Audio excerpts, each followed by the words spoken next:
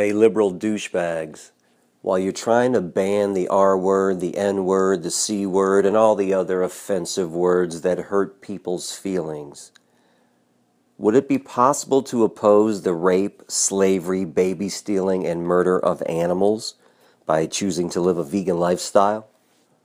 Or would that be too difficult?